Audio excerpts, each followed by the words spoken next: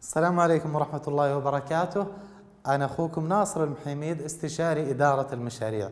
راح أكون معكم إن شاء الله مع زملائي. نقدم فيها دورة Certified Project Champion. الدورة اللي نعرض من خلالها المعيار الدولي في إدارة المشاريع. والمعيار الدولي المعروف برقم 21500 أو ايزو 21500 المعيار شهادة ال CPC. أول ما أبدأ عادة في عرض هالكورس أقدم نبذة عن اعتماد هالشهادة. شهادة ال CPC أو شهادة بطل المشاريع المعتمد هي شهادة معتمدة دوليا من خلال منظمة ال AIIC. مالك الشهادة هي أكاديمية دولية أيضا معروفة باسم Project Champion Academy راح يكون شريكنا في تقديم هالعمل بإذن الله. منصتنا منصة كل العرب رواق وإن شاء الله راح نقدم فيها ما يرضي وما يخدم الناس وما يخدم المهتمين في إدارة المشاريع. الكورس يتضمن سبع أقسام القسم الأول هو المقدمة القسم الثاني بإذن الله راح يكون معنا إطار العمل أو إطار عمل الستاندرد. ثم بعد كذا راح يكون عندنا مرحلة البدء ثم مرحلة التخطيط بعد كذا مرحلة التنفيذ ومرحلة التحكم وأخيرا مرحلة الإغلاق. راح يكون مجموعة من الزملاء المتخصصين المعتمدين لتدريب على منهج ال CPC. في بداية أي دورة من دورات إدارة المشاريع أو دورات ال CPC على وجه الخصوص نلفت انتباه المتدربين إلى أنه إدارة المشاريع هي ليست معارف فقط هي معارف وفنون. هذا أمر. الأمر الثاني في إدارة المشاريع في إدارة المشاريع يوجد مدارس كثيرة فإحنا نسعى مع في مدارس موجودة في آسيا في مدارس في أوروبا في أمريكا مدارس واتجاهات مختلفة. عادة تكون مرتبطة بطبيعة أعمال المناطق اللي أنشئت أو ولدت فيه تلك المنهجيات أو تلك الأطر الخاصة بإدارة المشاريع. ال CPC هو إطار عمل ومنهجية. إطار عمل لأنه يقدم العمليات اللي يعتمد فيها مدير المشروع في مختلف مراحل مشروعه ومنهجية لأنه يقدم خطوات تطبيقية على أرض الواقع واحد اثنين ثلاثة يعتمد عليها برضو مدير المشروع في تطبيق آه، هالمعارف أو هالمنهجيات آه، على مشروعه. عندنا في منهجية أو في إطار عمل ال CPC نعتمد على دليل يسمى ال Project Management Standard Guide. ال Project Management Standard Guide هو دليل مجاني موجود على موقع الأكاديمية الدولية لأبطال المشاريع يمكن للجميع أنه يعمل له download. أيضا مؤخرا صدر لنا كتاب يشرح هالدليل يقدمه باللغة العربية بحيث أنه يكون متاح وممكن أو يسهل لإخواننا الغير القادرين على الاطلاع على المحتوى الإنجليزي إنهم يطلعون عليه باللغة العربية. قبل ما ندخل في تفاصيل ال CPC لابد أننا نشير إلى الأكاديمية مالكة الحق في هالشهادة اللي هي الأكاديمية اللي تسمى Project Champion Academy. Project Champion Academy اختصارا تسمى PCA هي عبارة عن مبادرة مجموعة أشخاص تبنوا المعيار الدولي المعروف بايزو 21500 وقدموه بدل ما يكون معيار قدموه كمنهجية وإطار عمل مضمن فيه مجموعة من ال tool وال techniques اللي تساعد مدير المشروع أو تعزز من فرص نجاح المشروع. اللي تستخدم أو اللي يعتمد فيه على ال CPC. أكاديمية أبطال المشاريع عندها مجموعة من القيم اللي تعتبر أساس عملها وأساس تعاونها وأساس حتى منهجيتها وإطار عملها اللي يقدم يقدم على أرض الواقع.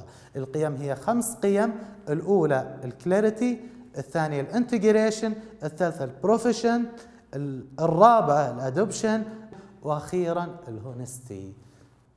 طيب القيم هذه تعتبر ميثاق شرف بين الأكاديمية وأعضائها سواء كانوا من أبطال مشاريع أو مدربي أبطال المشاريع لأن أكاديمية أبطال المشاريع ما تقدم فقط شهادة بطل مشاريع معتمد هي تقدم أيضا مدرب أبطال المشاريع.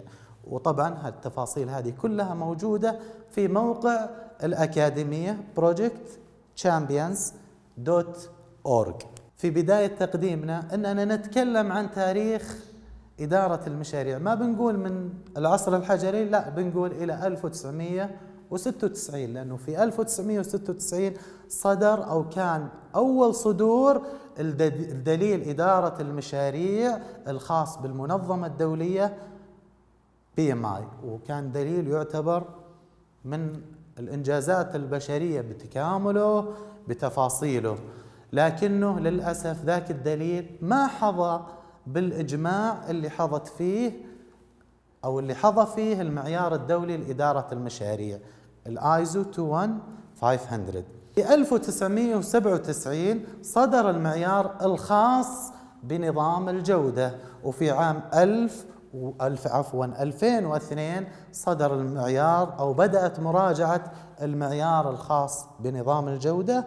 المعروف بالآيزو 10006 في 2007 شكل الفريق الخاص بتطوير المعيار الدولي لإدارة المشاريع أو ما عرف لاحقا بآيزو 21500 في 2012 نجح الفريق أنه يحصل على إجماع كافة الدول والمنظمات المشاركة في إعداده وتقريبا كان الإجماع أو كانت الدول مجمعة ومتفقة على سلامة هالمعيار وعلى أنه فعلا يعكس أفضل الممارسات من أرض الواقع. عفوا كان هذا بتاريخ 2012 وكان ولادة المعيار المعروف بإدارة المشاريع. في 2015 كانت انطلاقة أكاديمية أبطال المشاريع. اي Project Champions Academy وفي 2016 نجح فريق العمل بهالأكاديمية من خلال هالمبادرة النموذجية أنه يقدم دليل إدارة مشاريع متكامل يقدم المعيار متكامل مع أدوات وتقنيات قابلة للتطبيق في إدارة المشاريع. في 2020 بإذن الله الأكاديمية تتطلع أنه يكون عدد الحاصلين على شهادتها أكثر من 192 ألف. قبل ما ندخل في تفاصيل المراحل وقبل ما نتكلم في تفاصيل العمليات وقبل ما نسهب في أي شيء آخر لابد أننا نوضح للمشاهد الكريم أنه إدارة المشاريع تعتمد بالدرجة الأولى على منهجيات وعلى أطر عمل. منهجيات تسمى methodology أطر عمل تسمى framework منهجيات على سبيل المثال أو نقدم أبرز المنهجيات اللي موجودة بالسوق PRINCE 2 والمنهجية إذا ذكرنا أنها منهجية فإحنا نتكلم عن خطوات واحد اثنين ثلاثة أربعة. خطوات تنفذ. خطوات تفصيلية. الأمر يختلف إذا تكلمنا عن أطر عمل أو framework فإحنا نتكلم عن إطار عمل يوجه مدير المشروع لتنفيذ بعض العمليات المناسبة المشروع المتوافقة مع احتياجاته المتوافقة مع المعطيات على أرض الواقع. أشهر إطار عمل بالعالم هو ال PMP وأشهر منهجية هي ال PRINCE 2 لكن ما نذكر ولا مر علينا أننا سمعنا عن منتج يقدم يمثل إطار عمل ومنهجية في نفس الوقت. اليوم من حسن حظنا جميعا أننا نقدم هالمنهجية من خلال شهادة ال CPC أو من خلال أكاديمية Project Champions Academy فكرة مهمة جدا لابد أننا ناخذها بالاعتبار. ما سبق سمعنا سمعنا بإجماع تام على منهجية ولا سبق قرأنا عن هالإجماع وما سبق سمعنا أو قرأنا عن إجماع على إطار عمل نعم في منتجات عالمية لكن لحد الآن ما حققت الإجماع اللي شاهدناه فعلا في المعيار الدولي المسمى آيزو 21500 لذلك كان منطلقنا وكان أساس منتجنا هو المعيار الدولي في إدارة المشاريع آيزو 21500 طيب قبل ما نفصل بالمعيار الدولي وقبل ما نتكلم عن الدليل لأنه من من ابتداء من القسم القادم من هالكورس راح نتكلم عن الدليل فقط راح ننسى شيء اسمه المعيار الدولي. لأننا إذا تكلمنا عن الدليل فإحنا بشكل مباشر نشير إلى الآيزو 21500 لكن الآيزو 21500 عزز بواسطة المبادرة اللي تبنتها ال Project Champions Academy بأدوات وتقنيات بالإضافة إلى methodologies تخدمه حتى يكون قابل للتطبيق.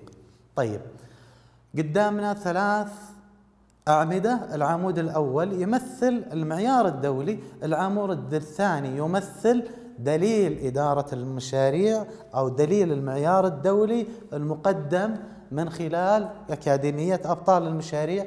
والعمود الثالث اللي هو كتاب أو ال Project Management Body of Knowledge المقدم من ال PMI الآن راح نتكلم أو راح نجري بعض المقارنات البسيطة بين هالمخرجات أو بين هال المدخلات اللي إحنا نقدمها. الأول كان الآيزو زي ما ذكرنا 21500 آيزو 21500 الثاني ال Project Management Standard Guide من PCA الثالث ال PMBOK من PMI إذا جينا وركزنا على مراحل المشروع أو حتى نكون مرتبطين بالمعيار بشكل صحيح إذا ركزنا على ال process group نلقى إن كل هالمنتجات الثلاثة كل هالادله الثلاثه تقدم لنا خمسة process group قبل التفصيل لابد أننا أيضا نقدم مقارنة بسيطة بين بعض الأدلة المرتبطة بإدارة المشاريع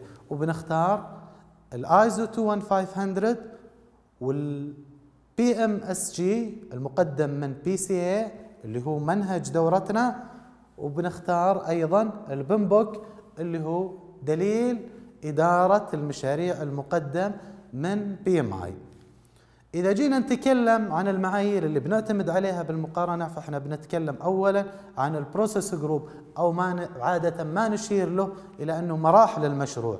فال process group في كل هالأدلة الثلاثة عبارة عن خمس مراحل بدء تخطيط تنفيذ إلى آخره. ونفس الكلام نفس العدد موجود لما يتعلق بالمجالات المعرفية فالمجالات المعرفية اللي بتستخدم في إطار العمل أو في المنهجية هي عشرة في الايزو 21500 وفي بال وفي والبي ام اس بي ام اس جي وبال PMBOK. بينما الأمر مختلف في عمليات إدارة المشاريع. فنلقى أن الايزو يقدم لنا 39 عملية إدارة مشاريع.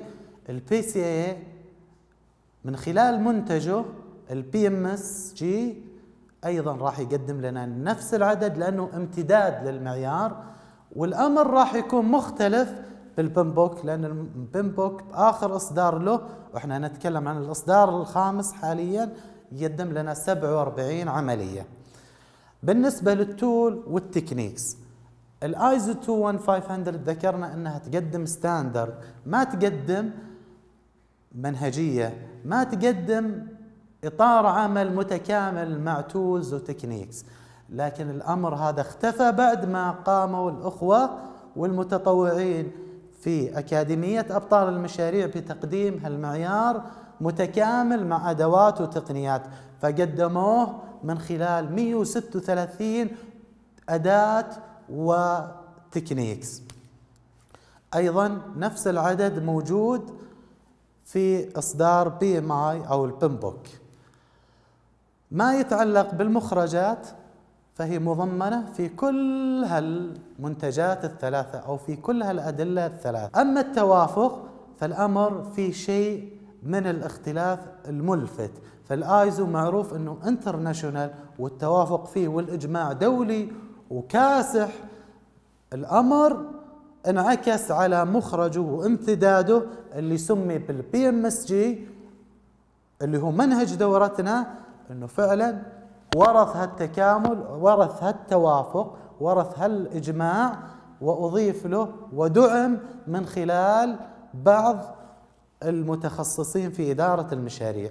الأمر مختلف تماما مع ال PMBOK لأن ال PMBOK معتمد بالدرجة الأولى على متطوعين أفراد يعملون على الدليل المعروف بال PMBOK. PCI من خلال منتجها المعروف بدليل أو دليل إدارة المشاريع المعياري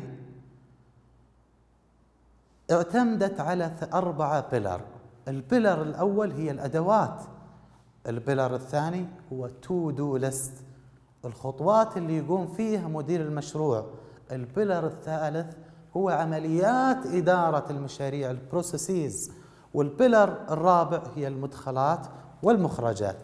نذكر بين قوسين أن التقنيات وال to-do list طورت من خلال أو قدمت من خلال المتطوعين اللي عكفوا على تقديم هالأدوات وهالتقنيات ضمن دليل إدارة المشاريع الخاص بشهادة ال CPC بينما المخرجات والمدخلات وعمليات إدارة المشاريع فهي أساسا تعكس أو هي امتداد للمعيار الدولي المعروف بالايزو 21500 اذا نذكر أو نوضح بداية المشروع كانت المعيار الدولي عزز من خلال أدوات وتقنيات تول وتكنيكس بحيث إنه يصير متكامل أكثر أو أكثر تكامل وقابل للتطبيق على أرض الواقع.